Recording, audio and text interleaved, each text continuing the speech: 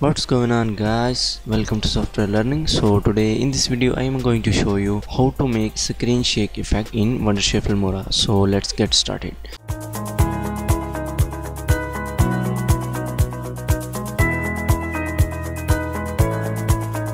So first you need uh, wondershare filmora software uh, in latest version. So i have here i am simply open this and uh, you must need latest version of filmora for uh, making a screen shake effect in your video. So first open this with the full feature mode.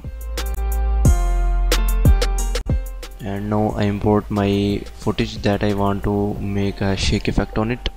And here I have open. I'm going to open this and simply drag and drop it to my timeline. And here is my footage. You can see that there is a no shake effect in it. So first I'm going to filter and here you can see that shake. Click on shake. And here is the all shake effect. You can see that there is a mid extreme sideways up down here. I you can see that all of these.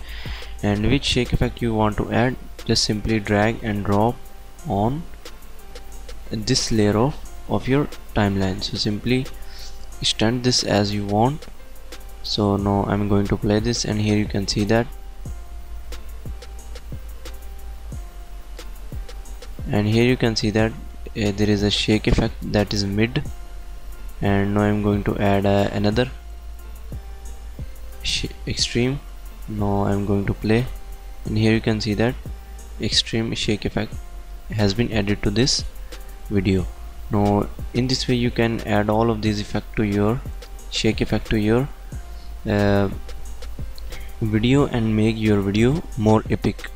So here is another here is a extreme extreme shake effect. So I hope you like this video. So in the final just click on export and export as mp4 and which resolution you want. So I hope you like this video. If you like this video thumbs up and subscribe to our channel